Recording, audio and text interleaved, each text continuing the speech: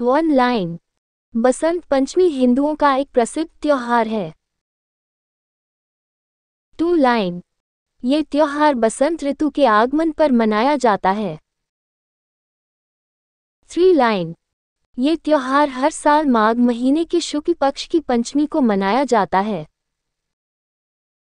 Four line ये त्योहार माँ सरस्वती जी के जन्मदिवस के रूप में मनाया जाता है।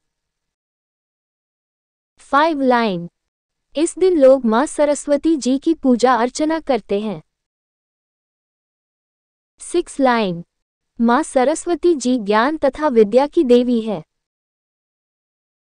सेवन लाइन बसंत पंचमी को सरस्वती पूजा तथा श्री पंचमी के नाम से भी जाना जाता है।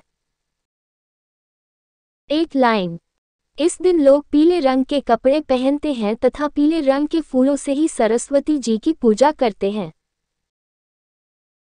Nine line. भारत के अलावा ये त्योहार नेपाल, बांग्लादेश तथा अन्य कई देशों में भी मनाया जाता है। Ten line. ये त्योहार संपूर्ण भारत में बहुत धूमधाम तथा उत्साह से मनाया जाता है।